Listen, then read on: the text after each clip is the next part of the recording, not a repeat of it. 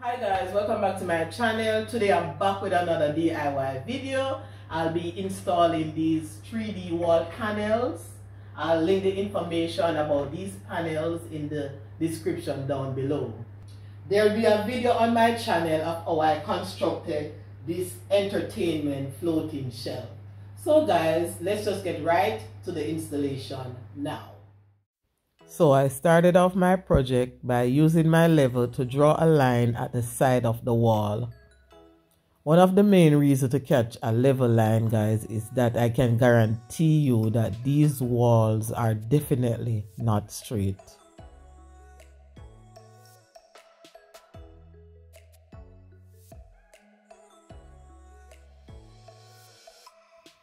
I'm also drawing a level line at the top just to see how much unlevel these walls are.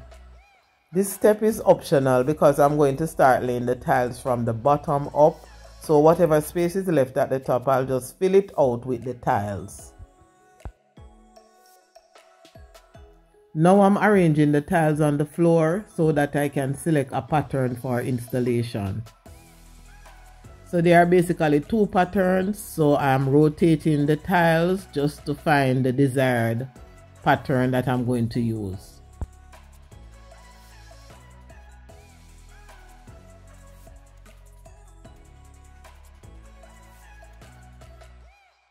Now I'm cleaning the wall. So the wall should be flat, dry, smooth and solid and a requirement is that the wall should be painted with emulsion paint.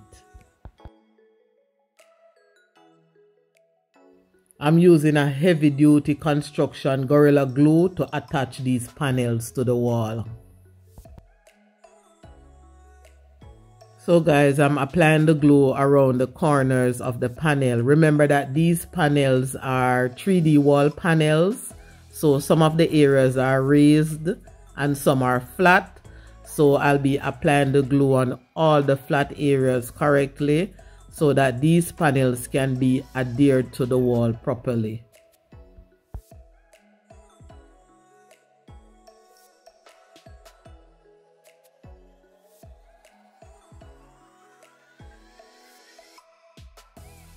Press the panel to ensure all its corners and edges are adjoin the surface.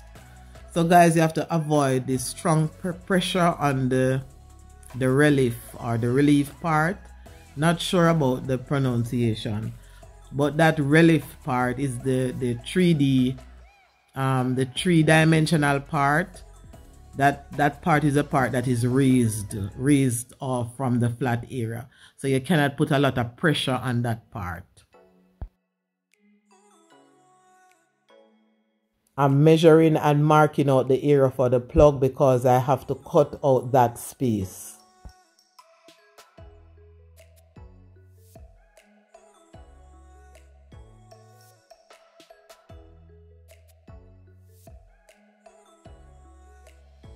I'm using a jigsaw to cut. For the other cuts, I use a utility scissors. There are two reasons for using the scissors. One, the scissors gives a cleaner and straighter cut. And two, these tiles are not as hard as expected. So these tiles, they are PVC tiles. It's like a little hard PVC, but it's like a hard cardboard. So it's in between. So it's more of a hard cardboard but i guess it, it has some pvc material in it. So it's not very hard to cut.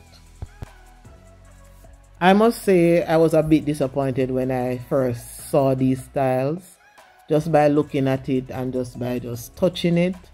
You know i was thinking that these tiles are not as sturdy. But after starting to use these tiles I realize they are extremely sturdy. And the finishing guys you have to stick around to see. The finishing is extremely beautiful. So after applying each tile I use a dry rag to rub in between the flat space of the tile just to ensure that the tile sits properly on the wall. I have decided not to use any spacers I hate spacers. I'm not bashing any tiler out there. I'm not a professional tiler, but I ate spacers. Maybe some tiles require spacers, but I just ate those big white space in between the tiles. I know that there are small spacers, but I prefer to use my putty knife and make the little space in between the tile and put my grout in between if I have to grout. So as you can see, I'm using my scissors now to make the cut. And you can also use a stencil knife you know a utility knife also. But i'm pretty glad i'm happy that the scissors can make the cut because it helps me to finish the job much much quicker.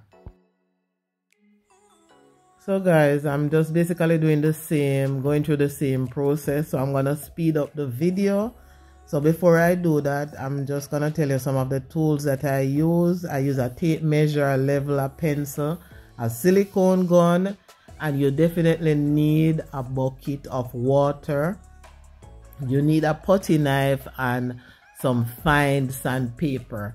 You need a lot of old towel or old rag because definitely you have to rub in between. You have to do a lot of cleanup because I cannot let the glue dry on the surface. The good thing about the Gorilla Construction glue is that it becomes tacky between two to three minutes. So after it becomes tacky all the excess that was left on the front part of the tile I was able to just peel them off or just rub them off with the dry cloth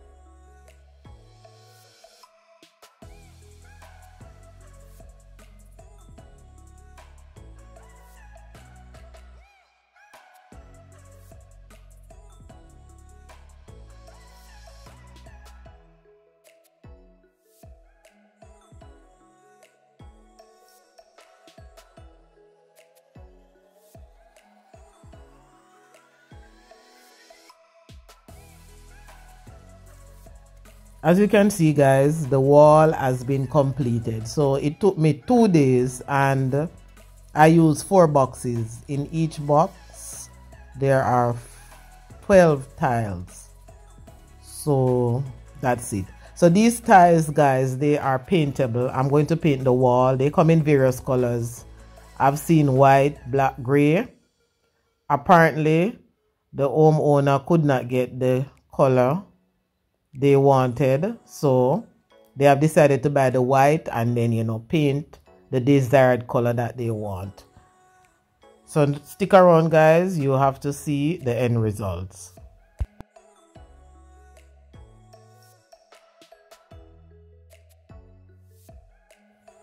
I'm using Berger Royale in the color gray.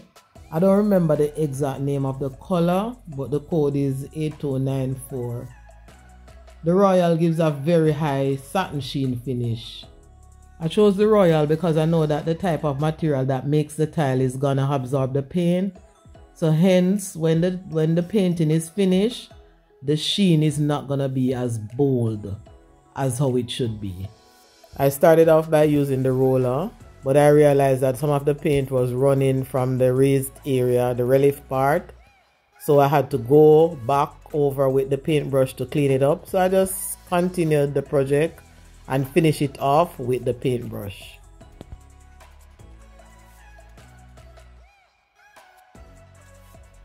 So guys, this is the finished look. I am extremely happy with the color.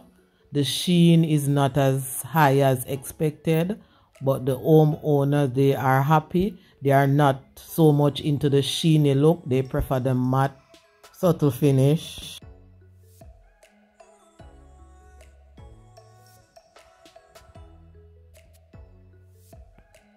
So guys, thank you so much for watching, commenting, liking, subscribing. remember to look out for part two of this video when I'm going to complete that entertainment unit. Bye guys, I'll see you in my next DIY video.